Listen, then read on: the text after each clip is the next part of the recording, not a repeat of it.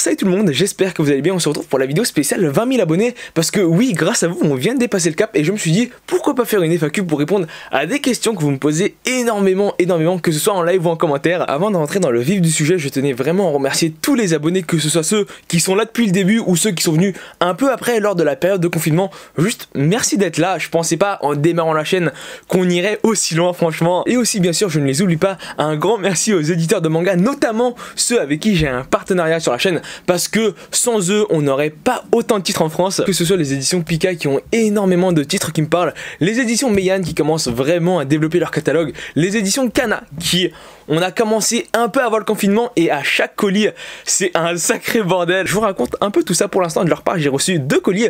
Le premier, c'était pendant la phase de confinement. En fait, on venait de confiner, donc il y avait des petits soucis avec la poste, ce qui fait que il a pris quasiment trois semaines, un mois pour arriver. Et la deuxième fois, et c'était la première fois que ça m'arrivait, ils me disent qu'ils ont envoyé le colis, si je me trompe pas, c'était un jeudi, vendredi. J'attends une semaine, je ne reçois rien. J'attends une autre semaine, je ne reçois rien. Et là, j'apprends que le postier n'a pas trouvé mon adresse alors que j'habite sur la rue principale. Franchement, on peut pas louper où j'habite.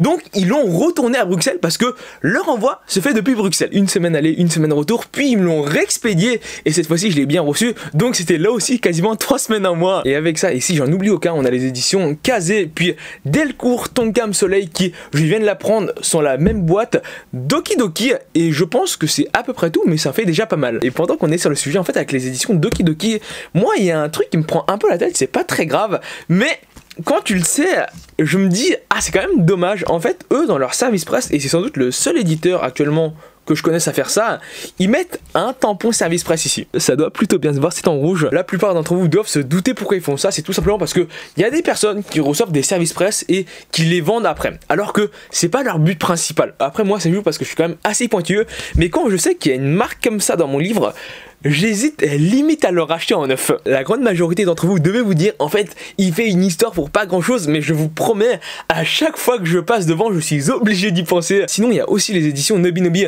Mais le truc, c'est que Nobinobi Pika et H2T, c'est la même chose et peut-être que par la suite on aura les éditions Kurokawa.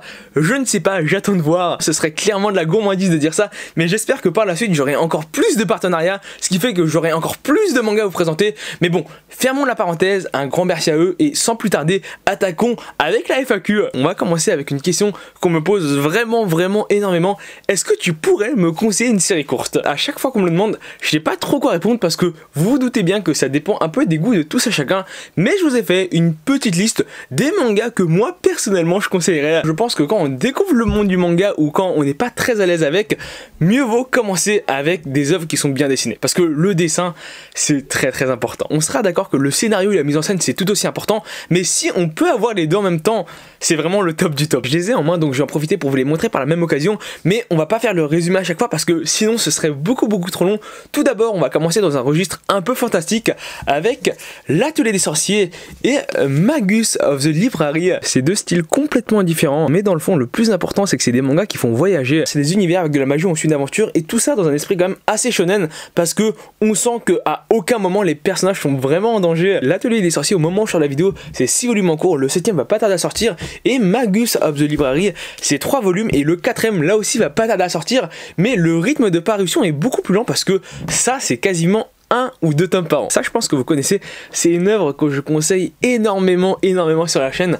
Euh, Bakemonogatari, un peu plus mature à lire et ça se ressent dans la mise en scène, le scénario, l'écriture des personnages et l'écriture de l'humour. Ça plaira sans doute pas à tout le monde, mais clairement, ça vaut le coup d'œil. Plus porté vers ce côté mystère et je trouve que c'est une œuvre qui est pas assez connue. On a Time Shadows qui est actuellement en 5-6 volumes et au Japon, c'est 8-9 tomes actuellement. Pour vous spoil un peu, le personnage principal revient sur son île natale suite à la mort de son ami d'enfance et il apprend qu'il y a des ombres qui tuent les gens pour prendre leur place et lui, il a le pouvoir de remonter le temps quand il meurt. C'est pas du tout comme ReZero parce que là-bas il meurt, il revient à la vie, il meurt, il revient à la vie, il le fait beaucoup de fois. Là-dedans, il cherche vraiment à trouver une solution sans mourir. Des œuvres un peu plus lourdes, on a les liens du sang où le personnage principal a une relation quand même assez chelou avec sa mère. Pour ceux qui se demanderaient, non, il n'y a pas d'inceste à l'intérieur. Comme tous les mangas de Shuzo Shimi, ça joue énormément sur la psychologie des personnages et il y a un moment, il y a un événement déclencheur qui fait que l'histoire va prendre un tout autre tournant, sans doute la série la plus courte de la liste, et elle est même pas si courte que ça, on a Blue Flag. Pour faire simple, c'est le genre de manga de romance où les personnages se prennent tellement la tête. Toute l'intrigue du manga, c'est qu'il y a un triangle amoureux, t'as une fille qui est amoureuse du meilleur ami du personnage principal, le meilleur ami du personnage principal est amoureux de lui-même, et lui il commence à tomber amoureux de la fille qui aime son meilleur ami. Et en plus de ça, t'as quelques problèmes personnels, ce qui fait que c'est classé dans un genre, selon moi, Amour, amitié, tranche de vie drame. Et on va terminer la liste avec deux mangas quand même un peu plus légers à lire. Tout d'abord, Gotobu no Anayome, qui est pas si court que ça. Au Japon, ça s'est terminé en 15 volumes. C'est drôle, c'est frais, c'est mignon, c'est agréable à lire. Je peux que vous le conseiller. Il n'y a pas grand chose à dire dessus. Très très bonne histoire de romance avec des play donc c'est quand même assez original. Et dans un registre complètement opposé, on a Arte. Ça nous parle de Arte, une jeune bourgeoise à Florence au 16e siècle qui veut devenir peintre, un milieu qui est sursaturé d'hommes. Tous les métiers intellectuels étaient réservés aux hommes et par la force de son caractère, elle va essayer de se faire une place dans ce milieu et franchement, dit comme ça, ça a pas l'air très très bon, mais je vous garantis que sur la manière dont c'est raconté, c'est juste excellent. Après, on sera d'accord qu'on peut pas tout apprécier, mais on s'attache vraiment vite à l'histoire et au personnage que ça en devient bluffant. Vous avez là mes conseils de lecture. Après, ici, j'ai essayé de sélectionner des choses quand même assez diverses et variées pour plaire à tout le monde et je pense que dans la prochaine vidéo FAQ, je ferai aussi une liste similaire mais avec des titres totalement différents. En fait, ça va dépendre des sorties manga qui vont sortir entre temps. Deuxième question qu'on me pose quand même assez souvent, c'est quand la prochaine rencontre abonnée? Parce que pour ceux qui ne le savent pas encore, il y en avait déjà eu une en 2019. Je me souviens plus des chiffres exacts, mais on devait être 4-5 000 abonnés sur la chaîne, et à la rencontre, on était étonnamment plus nombreux que je ne le pensais. Pour faire le topo rapide de comment ça s'est passé la dernière fois, et comment ça se passera sans doute ensuite aussi,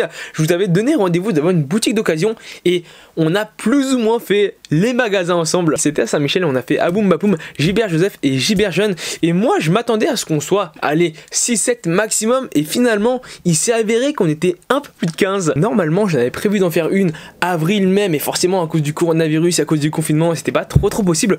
Donc, j'ai pensé décaler un peu après la rentrée, mais ça dépend comment évolue la maladie. Je promets rien, mais ce sera sans doute un samedi parce que je pense que c'est le jour où il y a le plus d'entre vous qui sont disponibles. Un commentaire que j'ai vu passer qu'une seule fois, mais qui m'a quand même fait bien rigoler.